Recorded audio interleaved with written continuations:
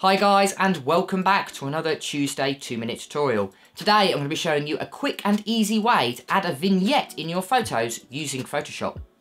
And I'm going to start right now.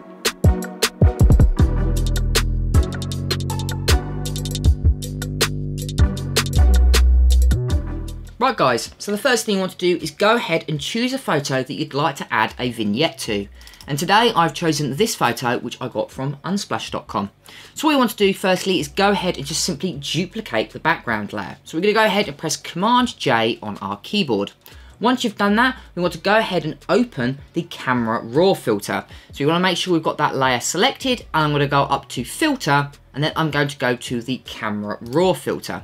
Once we're in the camera raw filter, we want to bring up the effects panel. So on the right hand side tools palette, you've got all of these drop down menus. The one that we want to select is the penultimate to the bottom and it's called effects. Now in effects, you've got two sliders. You've got grain, but you've also got vignette and that's the one we're going to be selecting today. Now the vignette has got a left and a right slider. The right slider creates a dark vignette while the right hand side selects a lighter vignette. So what I'm going to do is I'm going to choose a darker vignette in this particular case. So I'm going to take that slider over to the left.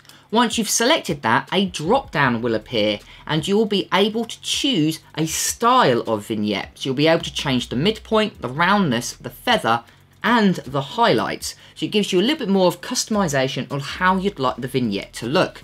So I'm going to increase the vignette by a little bit more I'm also going to increase the midpoint ever so slightly and I'm going to also increase the feather. And I increase the highlights ever so slightly just to counterbalance the darkness that we're adding within the photo. So I'm going to do that just like so. Once you're happy with all of the changes that you've made, and just to confirm it, all you'll need to do is go down to the bottom right hand corner and just select the OK button. And that will take us back into Photoshop. So as you can see, we've added a filter like so. But what we'll need to do is have a look at the before and after. So we'll turn that layer off, we'll do the before, and we'll do the after, and wow, we've added in a lovely subtle vignette to the photo. And I must say, that was really quick and easy. And there we go, guys. So that's how you can add a really quick and easy vignette to your photo.